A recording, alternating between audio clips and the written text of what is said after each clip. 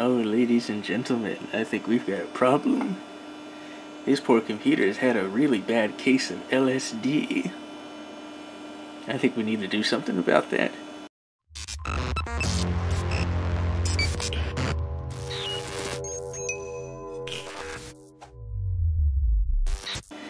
On today's episode of Viral Rewind, we're looking at another DOS virus, but this is going to be one with a destructive payload with a couple of other interesting capabilities. We're going to be looking at the Digi DOS virus. It's also called Digi Deliver or Deliver Digi. Goes by a couple of different aliases, but for the most part, it's called Digi. So let's go ahead and find it.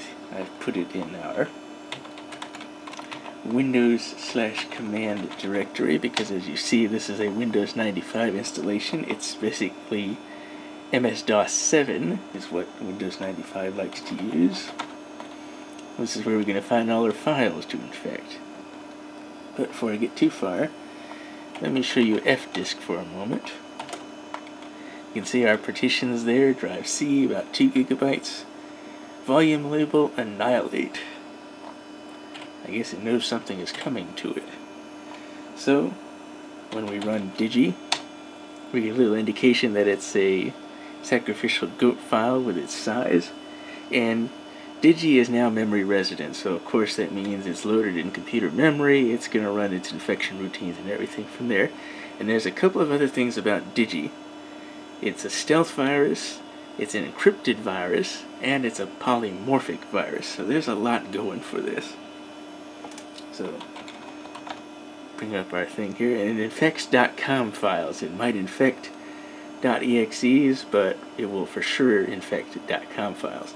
Now, look at something like format, which is 40,135 bytes. Run it. Okay, it's there. Again, we see again no change in file size, but also look at the free disk space. It didn't go down, but I can assure you that format is infected because again, of that polymorphic encrypted stealth capability that this virus has. It's, it's a little more complex than a standard stealth virus. So let's do some other files. Let's try mode. Let's try, let's see, what else was in there? Oh, let me bring it up again. Alright, let's do sys keyboard. Let's do more. Me break out of that. So if we look back at the directory listing again, our total disk space still hasn't gone down, but we have infected a number of dot .com files now that are carrying Digi's code in them.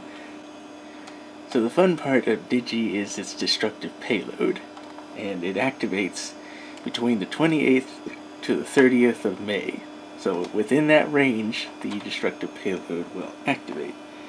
Now, you can either boot the computer up on that date and Digi will activate if one of the infected files gets run, or if it rolls over to that date, you know, etc., etc. So again, anytime from the 28th to the 30th of May, Digi's payload will activate. So we've got Digi in memory right now. So, we're to simulate, you know, it's a late night at the office. You're trying to get something done late at night there. It's 11:59. It's about to roll over to the next day, the 28th.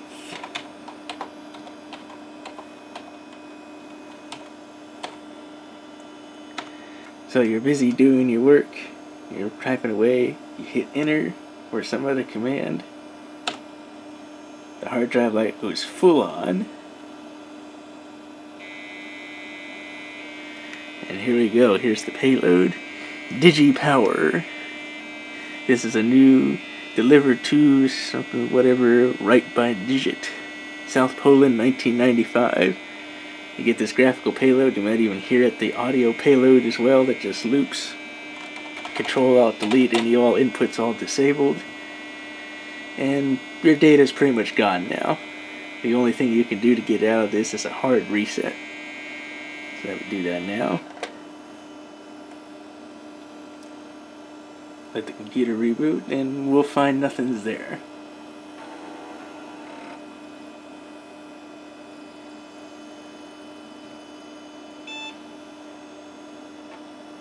No operating system found. So, we do disk here. So what has Digi done? Well, basically, when the payload activates, Digi overrides all sectors of the hard disk with Digi power, pretty much what we saw in that visual payload.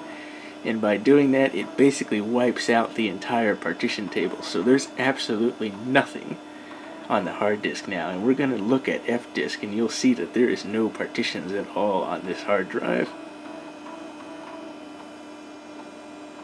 And you'll have to excuse the flickering. We don't have the nice 60 hertz DOS refresh rate right now because we don't have the program for that loaded anymore. So just bear with me for a little bit. So we're loaded up. Let's launch FDisk.